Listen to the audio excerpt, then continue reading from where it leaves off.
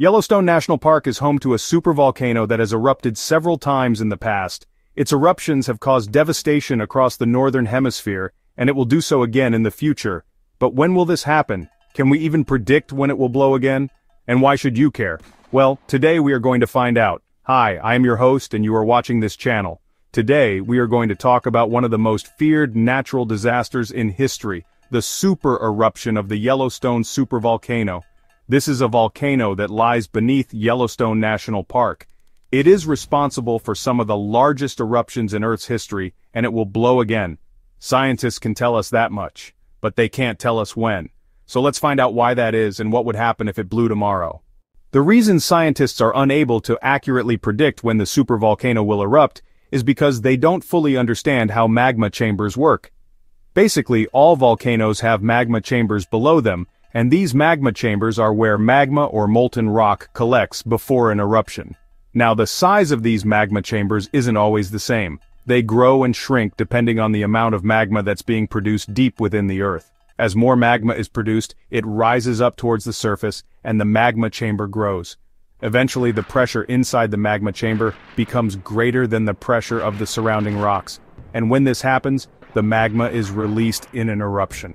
Now normally this is a fairly simple process, and scientists can pretty accurately predict when a volcano will erupt based on how fast the magma chamber is filling up. However, in the case of the Yellowstone supervolcano, things are a little different.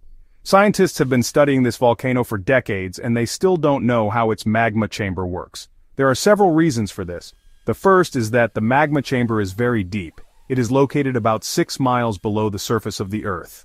And this makes it difficult to study. Scientists can't just drill a hole down to the magma chamber and take a look, they have to use other methods to study it. The second reason is that the magma chamber is very large. It covers an area of about 43 by 22 miles, and this means that it isn't a single magma chamber but rather a collection of magma chambers.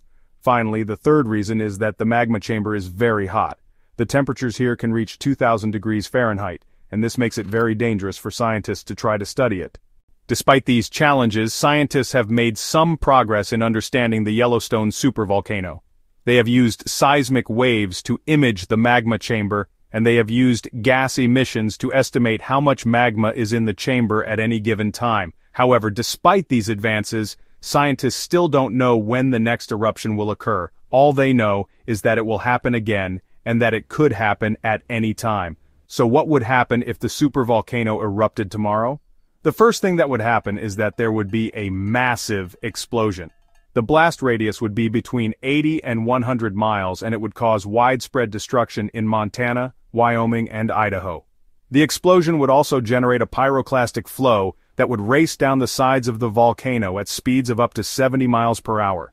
These pyroclastic flows would engulf everything in their path, incinerating anything that doesn't turn to ash. In addition to the immediate damage caused by the eruption, there would also be long-term effects. The ash from the explosion would eventually spread across the entire northern hemisphere, blocking out the sun and causing global cooling. There would also be widespread crop failures and famine as a result of the ash and the global cooling. And there would also be widespread death as a result of the direct effects of the eruption, the pyroclastic flows and the subsequent climate change. What makes this supervolcano so dangerous is its size. The Yellowstone supervolcano is the largest active volcano in the United States. It is also one of the largest volcanoes in the world. The volcano is about 43 by 22 miles wide, and it is over 12,000 feet high.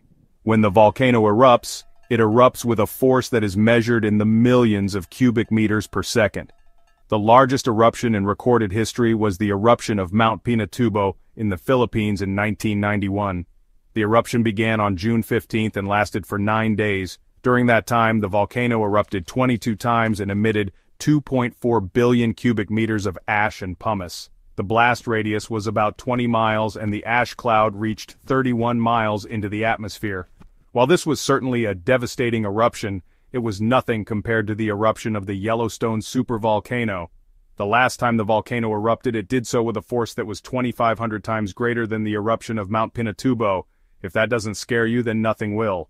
There have only been three known super eruptions in Earth's history, and two of them have come from the Yellowstone supervolcano. The first occurred 2.1 million years ago, and the second occurred 640,000 years ago. These two eruptions were responsible for the creation of the Yellowstone caldera which is the large crater that is now filled by Yellowstone Lake. The third supereruption occurred at the La Garita caldera in Colorado and it happened 27 million years ago. This eruption was even more powerful than the eruptions at Yellowstone and it is considered to be the largest known eruption in Earth's history. The good news is that none of these eruptions have had a significant impact on human civilization. This is mainly because they occurred at a time when humans were just beginning to evolve. However, this may not always be the case. If the Yellowstone supervolcano erupts again, while humans are more advanced, it could be catastrophic. Some people believe that the Yellowstone supervolcano is overdue for an eruption. After all, it has been 640,000 years since the last one. However, scientists disagree. They say that it is impossible to predict when a super eruption will occur. They also say that there is no evidence that the volcano is more active than usual. In fact, the most recent studies suggest that the volcano is currently in a period of quiet calm. In conclusion, the Yellowstone supervolcano is a ticking time bomb. It could erupt at any moment, and it would cause devastation across the northern hemisphere. Thankfully, scientists are constantly monitoring the volcano, and they are prepared to give us as much warning as possible if an eruption is imminent. As for when it will erupt again, all we know is that it will happen again. No one knows when that will be, but it could happen in our lifetime. So, let's hope that we are able to get plenty of warning. The research done by scientists to try and better understand the Yellowstone supervolcano has led to some other interesting discoveries. For example, scientists have found that the magma chamber is connected to a network of faults that run through the crust of the Earth. This network of faults is called the Yellowstone Hotspot, and it is responsible for the volcanic activity in the Yellowstone region. Scientists have also discovered that the magma chamber is not just a single chamber, but is actually a magma plumbing system. This system consists of a number of interconnected chambers and pipes that allow magma to move from deep within the earth to the surface.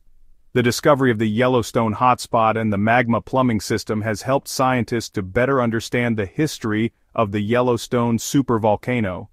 It has also helped them to identify areas that are at risk for future eruptions. One of the most exciting developments in the study of the Yellowstone supervolcano is the use of artificial intelligence. Researchers at the University of Utah have developed a new AI system that can help them to better understand the magma chamber. The AI system is trained on data from various sources such as seismic monitors, GPS stations, and gas emissions. It uses this data to create a real-time model of the magma chamber. This model allows scientists to track changes in the magma chamber over time and identify potential warning signs for an eruption. In addition to using AI to study the magma chamber, researchers are also using it to improve earthquake forecasts. Earthquakes are a common occurrence in the Yellowstone region, and they can sometimes be quite large. In 1985, a magnitude 7.3 earthquake struck near Yellowstone National Park. While this was not a huge earthquake by national standards, it was significant because it occurred in an area that is home to millions of people and important infrastructure, such as power plants and dams. To improve earthquake forecasts, researchers are using machine learning algorithms to analyze historical earthquake data. The goal is to develop a system that can accurately predict the time and location of future earthquakes.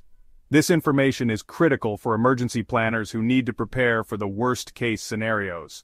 Another area where researchers are making significant progress is in the area of gas emissions. It is now known that the amount of gas emitted from the volcano is closely tied to magma chamber activity. By monitoring gas emissions, scientists can get an indication of what is happening below the surface. This information can then be used to issue timely warnings if an eruption is imminent. Overall, researchers are making great strides in their efforts to understand and monitor the Yellowstone supervolcano. The discoveries they make are not only helping to keep people safe, but they are also providing valuable insights into the inner workings of our planet.